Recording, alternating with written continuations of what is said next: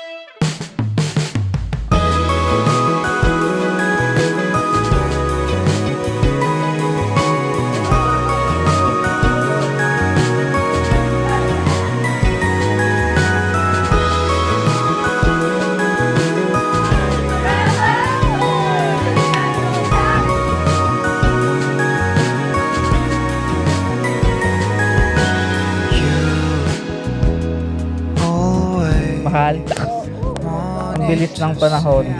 Ito na yung araw na iniintay natin. Sana magustuhan mo din tong gift ko sa'yo. See you later, mahal. Napakagandang regalo nito. Investment.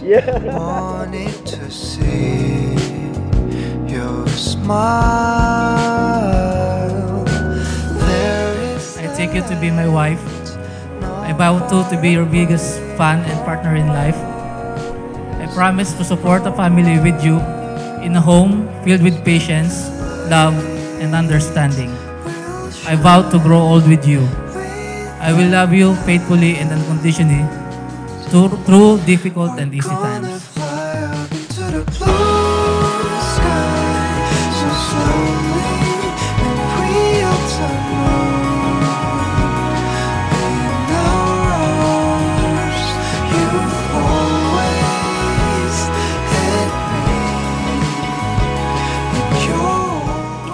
Started with a simple hi on Messenger, and now it's a love that will last forever. Our love story hasn't been easy, and I know that I haven't always been the, the easiest person to be with. But for almost two years, we've fought for our relationship. There were times that I saw you get tired, but there was never a time you gave up. Salamat sa mahabang pasensya at pagmamahal na walang katumbas.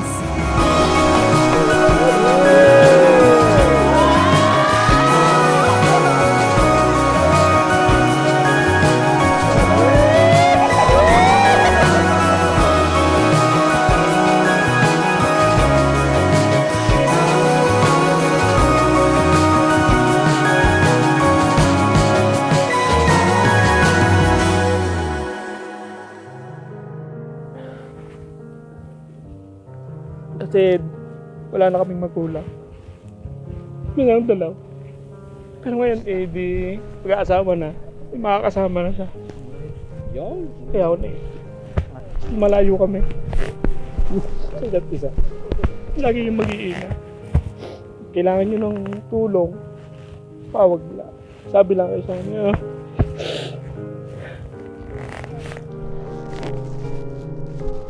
Mabait, responsable, and tahimik. Which is totoo, tahimik talaga siya.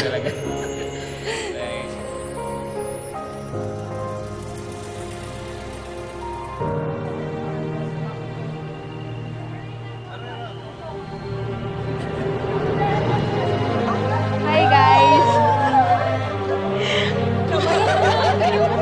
Makikipinot ng I know there's a lot of challenges that you will face and I know you are very strong lady. Career woman, strong lady. We are here to support you every time. Salamat sa dalawang taon at ngayon ay magiging habang buhay na. Pagsasamahan at pagmamahal sa hirap at ginhawa, and I promise you na harapin natin na magkasama. I love you, Ken. Highest of highs, lows of lows. I will be by your side no matter. Can't wait to start forever with you.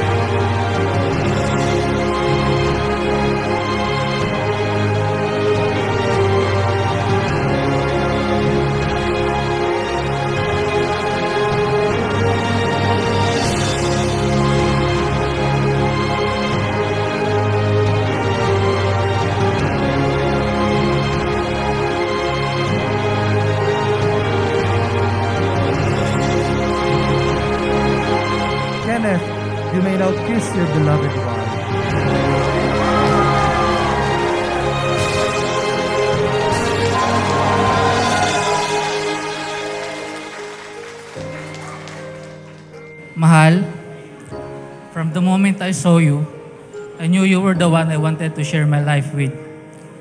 I am so lucky to have you in my life. Almost two years of being together is just an intro to a more exciting future that awaits us.